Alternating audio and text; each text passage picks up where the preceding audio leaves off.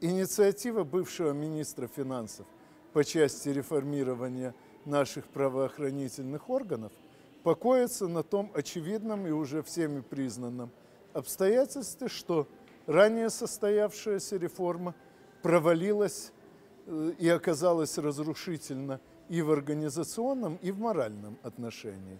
В моральном мало того, что их бедных полицаями назвали, так еще и в черную форму нарядили. А в организационном, потому что, по сути, массированная аттестация свелась к увольнению профессионалов просто за то, что те способны отстаивать свое мнение, а потому время от времени конфликтуют с начальством.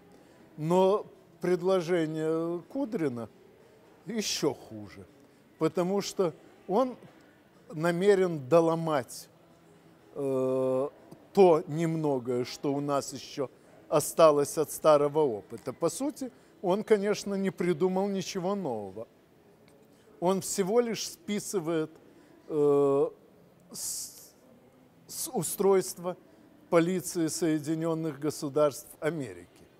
Но в Соединенных Государствах эта полиция э, формировалась из эмигрантов и для контроля эмигрантов. И то, что ее приходилось формировать снизу из среды иммигрантов, породило множество тяжелейших последствий.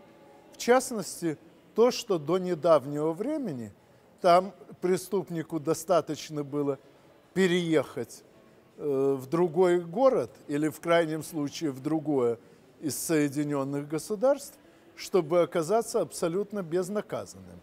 Федеральное бюро расследований возникло для того, чтобы закрыть эту дырку в законе, но и по сей день ему подвластна лишь очень небольшая часть совершаемых в стране преступлений, а от всех остальных можно уходить безнаказанно.